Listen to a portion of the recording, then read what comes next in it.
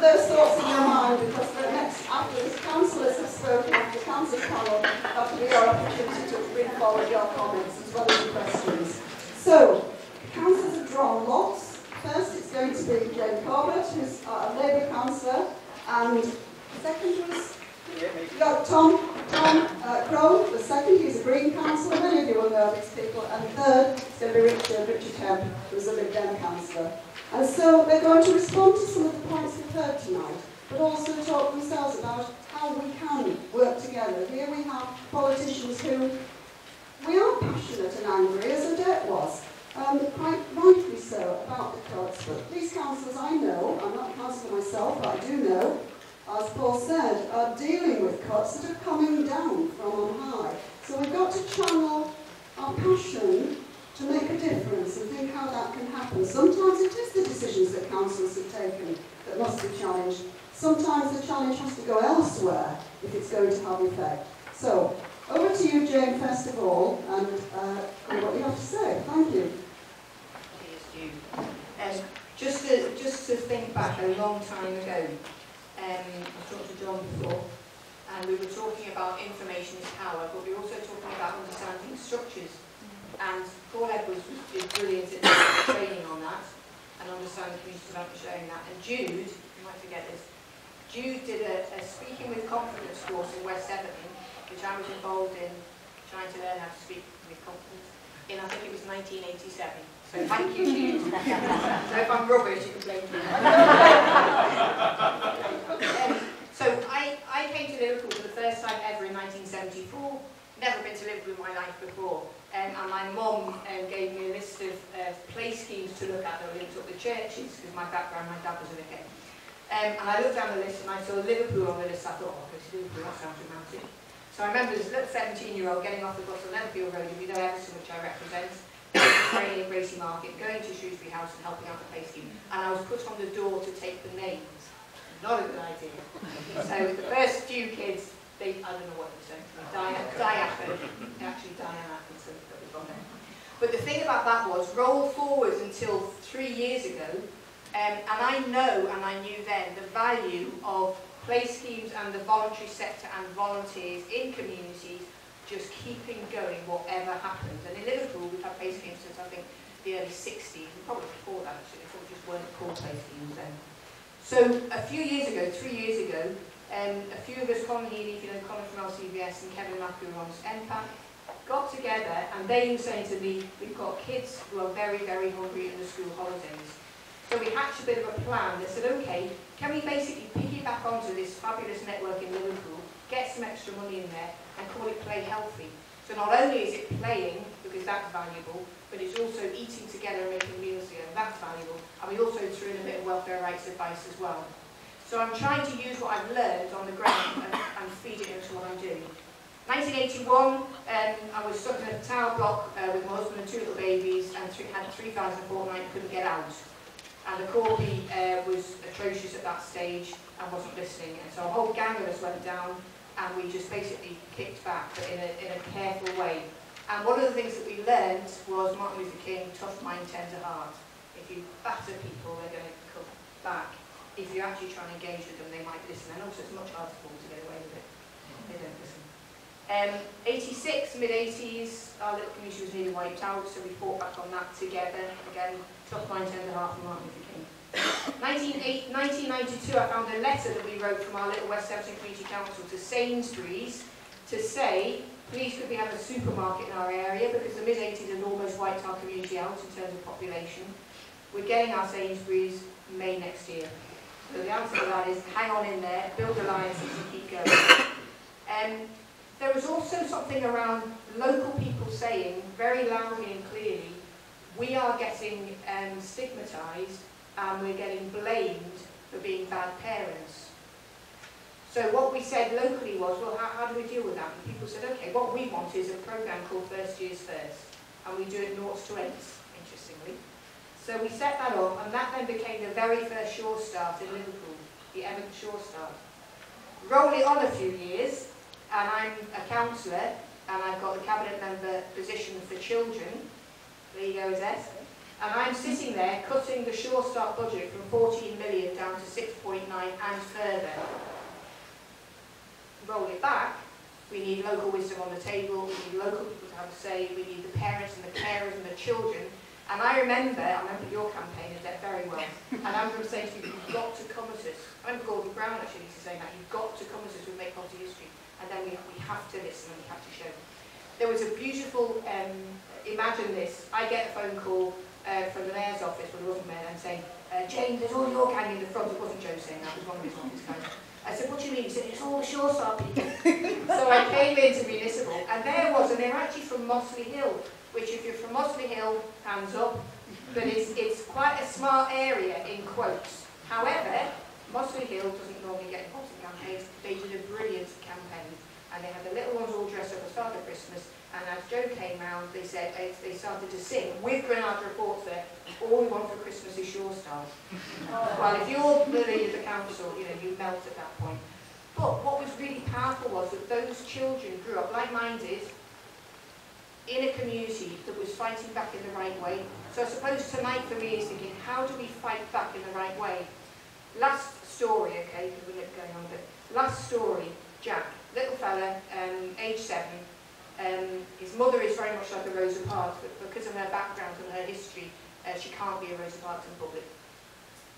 So uh, she found her little kid um, basically peeling wallpaper off the, off the wall because he was so hungry had nothing to eat. Um, she hadn't got anything. Um, so I said to her, how, how are you coping with this yourself and how are your children coping with it emotionally? Because um, the silent scream, someone mentioned the silent scream, did Jake? can't remember, something about silent scream, and the problem is it goes inwards. And you can't take a picture of a child who's hungry and say, this child is hungry, because you can't see it. You, you take a picture of bad housing. So poverty in this country, you can't take an easy picture of it, therefore it doesn't easily get into the papers. So I said to um, the mother, okay, will your little one draw me some pictures because you told me he was really good at art? She said, yes, he will. I said, if it helps him, and if we can get him involved in making, making a difference and changing the world around. So he drew me a picture of an empty plate with a knife and fork the other way round, 37. Um, and on the top it said, uh, do you see food? And then there was nothing. Then he did another one, empty plate, smiley face and a sad face. And the sad face, sorry, two sad, two sad faces. Sad face. Above one of them, the plates had Africa, 2016, or whatever the year was.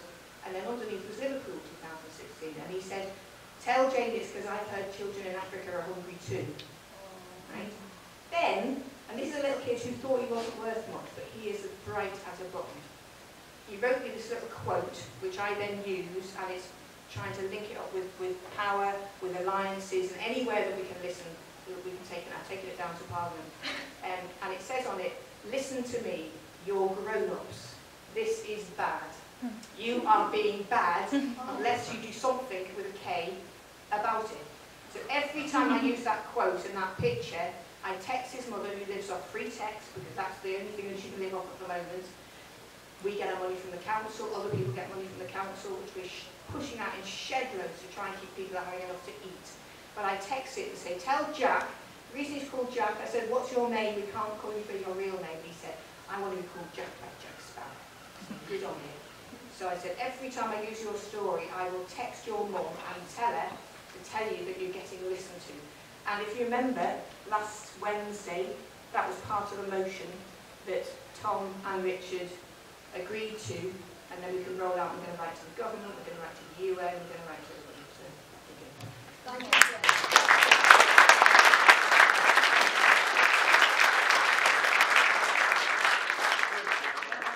a lot, Jane. Straight over to Tom. Thank you. Thank you, Judith.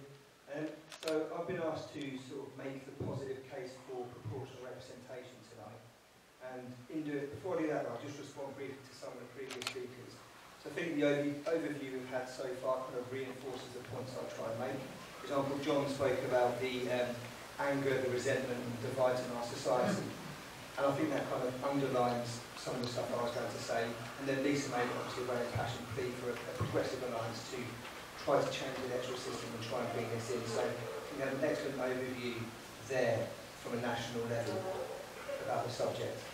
And then from the, from the community panel, it was great to see how these issues are affecting people on the, and the grassroots. And particularly good to see Jake here because one of the things I'm not going to really go into much detail about, but which I think is part of the conversation about electoral reform, is votes for younger people, votes for 16 to 17 year olds. I think it's a really important aspect of it. Um, we saw at the Scottish uh, referendum that young people came out and voted in great numbers. They were very engaged with it.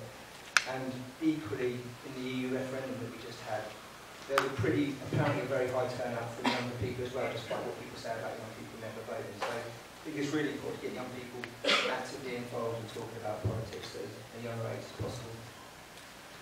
So, in making the case for um, proportional representation, I'm hoping that um, at this particular time of political turmoil, uh, where we've got an unelected Conservative Prime Minister taking us out of Europe, the opposition party having a difficult leadership um, struggle, and high levels of distrust and anger among, among the people, it should be possible to make the case for change and significant change of that. Um, and one reason that it's possible is I think the first past the post system can be shown to be kind of at the root of a lot of our political problems that we have at the moment. So looking at the example of the recent vote to leave the EU, I think a lot of people talk about it as being sort of cry of anger, something as a result of the anger and disillusionment people feel uh, towards politics as usual, and they want to see something different. Um, so one of the reasons people feel left behind under first past the post is because obviously most seats in this country are safe seats, so they get basically ignored by the political parties.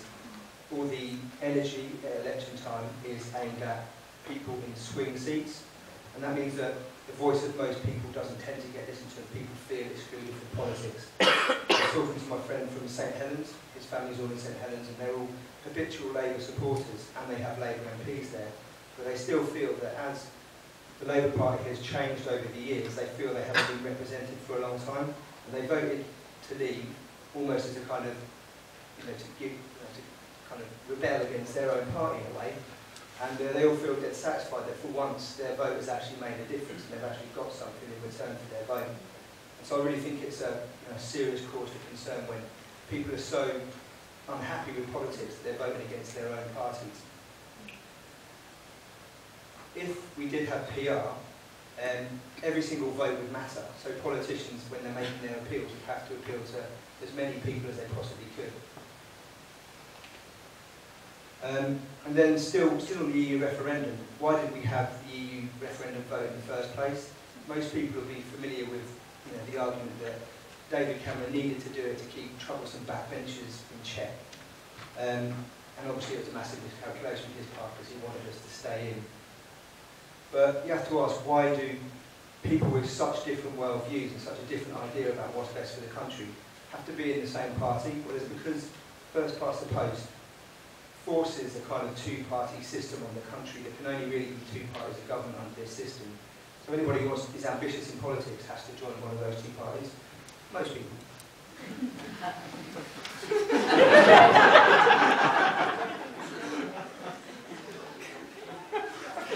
we're, seeing, we're seeing that same dynamic happening in the Labour Party, of course, with two camps within the same party who have wildly different ideas about what's best for the country.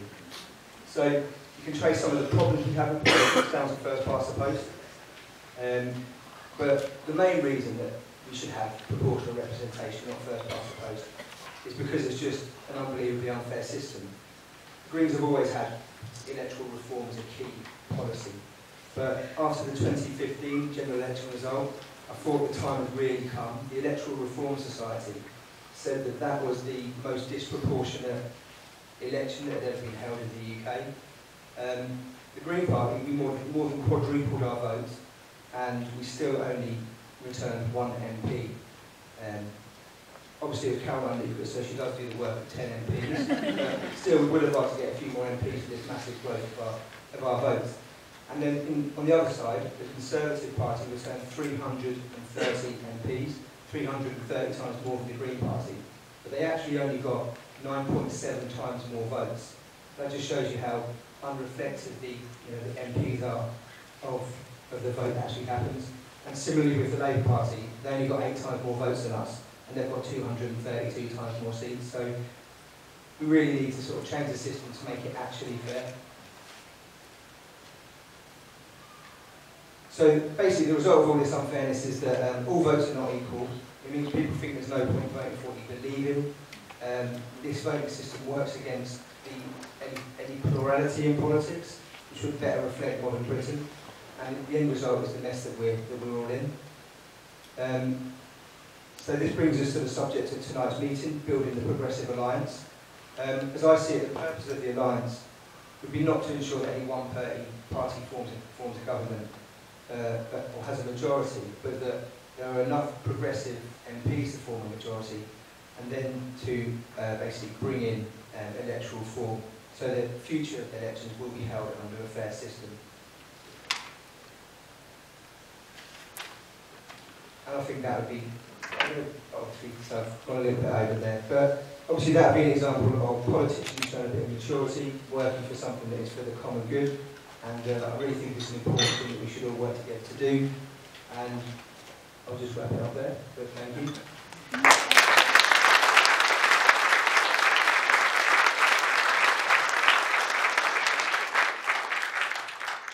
And finally, over to Richard Kemp to Well, I'm going to try and do this without a microphone because it's spluttering the whole time and it's a fairly small room for a, for a Scouser this, so I'm going to give it uh, a go.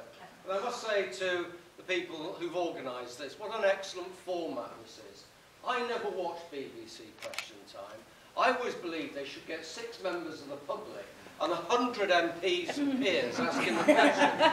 You might make more sense of it. And in a way, that's what you're doing here today. Well, I was asked to talk about working together. I'm going to take that not just about how we politicians might work together, but how we might work together. And I must tell you that tiny steps are being taken in Liverpool. Joe Anderson and I managed to get through an entire council meeting without shouting at each other last Wednesday. And if we can do it, let me tell you that there are opportunities uh, all around.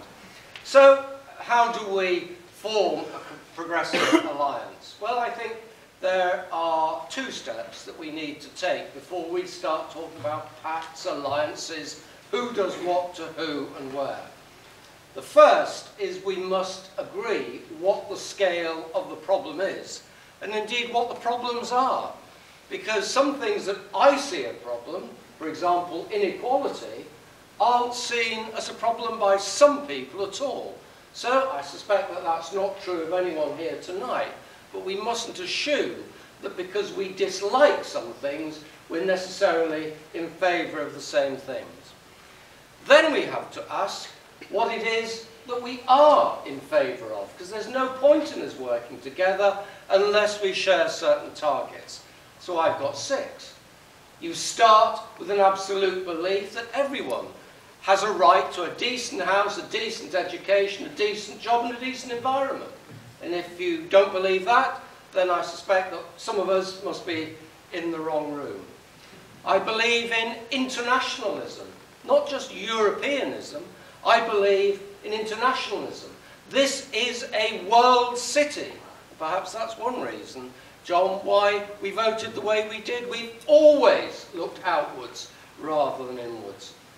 But at the same time, I believe in localism, because I believe too many decisions are made outside our boundaries, and we should be making the decisions, not grey men in suits. And I think I'm the only representative of the grey men in suits here tonight, uh, but all the people in a massively devolved system. A belief in environment, environmentalism. Let's not forget, unless we do something in climate change, our successors will not be meeting in this room because the ground floor will be underwater. You'll have to scuba dive up to this room. It's as serious as that. We're not that far from the Mersey here, folks. I believe in an alternative economic system which makes uh, it important for us to use our own money and services more effectively. And I believe that we should be looking at how we deliver services in a much more cooperative, mutual and social enterprise way, because otherwise, in a poor city like this, the money comes in, we put it in the hands of Tesco's, we put it in the hands of an international company, and it ends up in the Turks and Caicos in a tax lover's haven. It doesn't have to be that way. And I remember speaking at a conference where people were getting absolutely passionate about the iniquities of the banking system. Lots of nice middle class people. And I asked a simple question. How many of you keep your savings in a credit union? 100 people in the room, three of them were members of the credit union. So that's something that you can do, and it's something that I've done. That isn't going to change the structure by itself. But if we all did it, as they do in Ireland, and a third of the money in the system was kept in locally controlled credit unions, perhaps we wouldn't have had the banking crisis in the first place. So, how do we take things further? And it struck me as interesting that Paul was talking about the people in London that make decisions, and Lisa and John were both talking about making devolution work.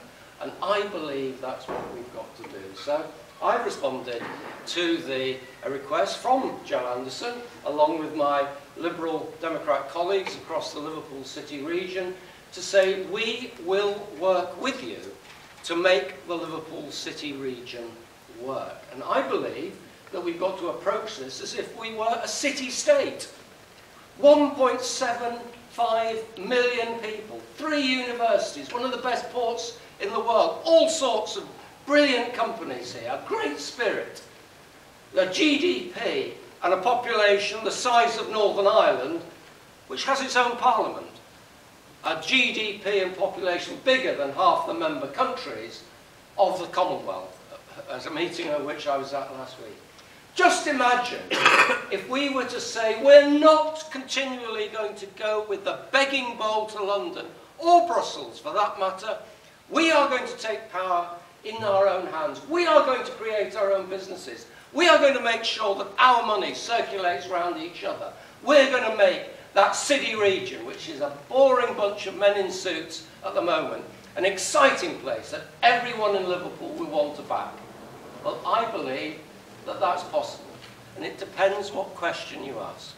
If you went into the pub next door and said, would you really like a major realignment of the governmental forces in the UK to restructure power uh, down to Liverpool, most people would say, what's he on about?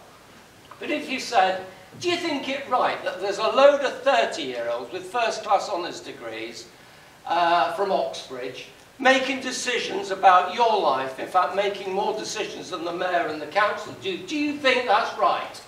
And what will they say in the pub? That's bloody wrong. and that's how to involve people by asking them the right questions, by being relevant to them and exciting them. And it may surprise you to hear me say this, that I believe the city region deal could be the best thing that's ever happened to us. Whether it is or it isn't, we just damn well got to make it work. And that's my pledge, to work together with the Labour Party, with the Greens, with anyone else, to make the Liverpool City region, the state of Liverpool, a powerful place where we can create wealth and share it in the right way. Thank you, Chair.